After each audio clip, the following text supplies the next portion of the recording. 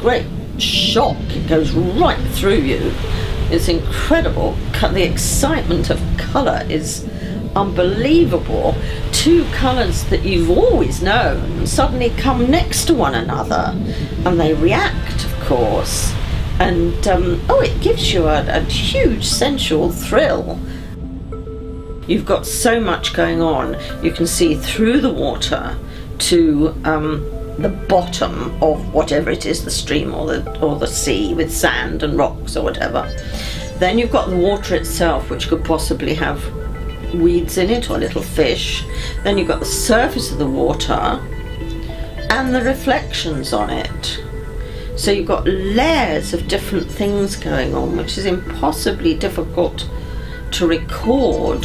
It's the challenge of trying to get the truth about what you're looking at down on a piece of paper that is so fascinating.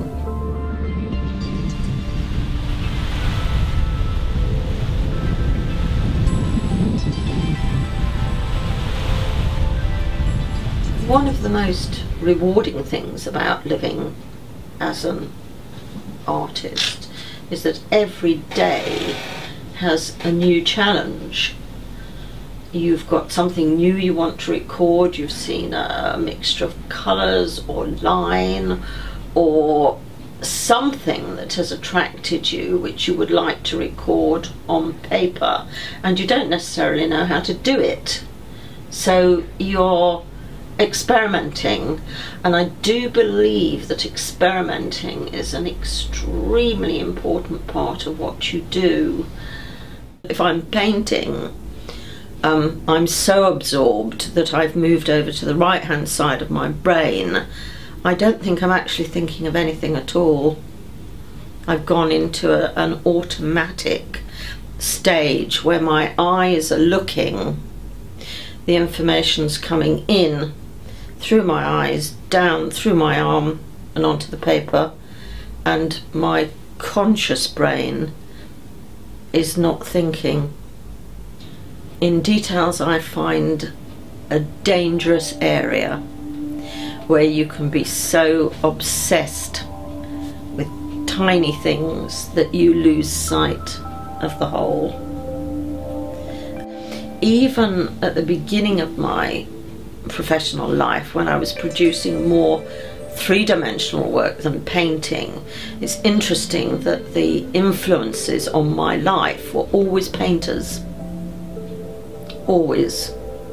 Even though I might have been producing jewellery or mosaic work or, or big structures using willow, the main influence on my life always has been painters. It's the absolute essence of what you do. Looking and observing, and the easiest way to look is to draw. You need to re-look at things. Um, when you first find something, it's very exciting.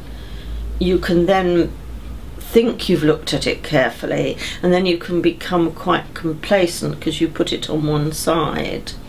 And if you're not careful, you don't really look at it again carefully enough. So I think it's very important to keep going and, and picking things up, you know, very, simple things and looking at them again. It's just because you've looked at it once five years ago doesn't mean you know what it looks like.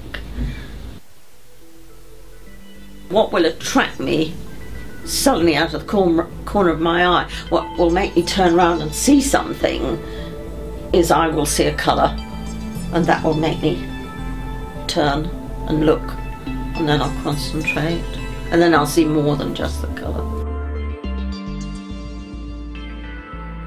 Time changing things is something that absolutely fascinates me because um, the rocks, for instance, you know, this is all about time and change and erosion and heat and pressure and that's time over millions and millions of years, which I find utterly fascinating. Put in my place in terms of time, I like being reminded that I'm really just a little ant scurrying around on the surface for an infinitesimally small amount of time compared to this sort of thing, which is the true age of the earth. Um, and that affects landscape painting or stone painting or anything like that. I think the more respect you have for what you're painting, the more knowledge you have of it, the better your painting should be.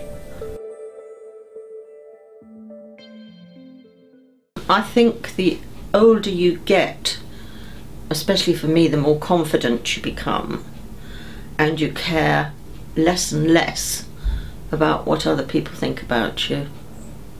So you will have a lot more confidence in what you're doing.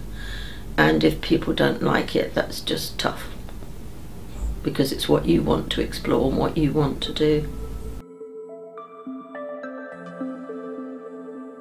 Looking back, I now realise that I would have loved to have studied geology because it absolutely fascinates me. But I also know that a lot of geologists spend their times looking at a computer screen, and I couldn't bear that. I just couldn't stand it. Um, I think I've made the best choice. I've had a rich and lovely time. I wouldn't really swap it. You have to learn to live on a roller coaster of good and bad and you've got to learn to pick yourself up and start again.